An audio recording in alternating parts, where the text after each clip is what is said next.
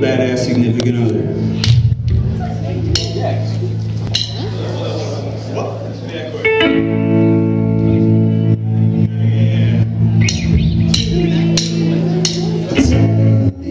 How much is enough?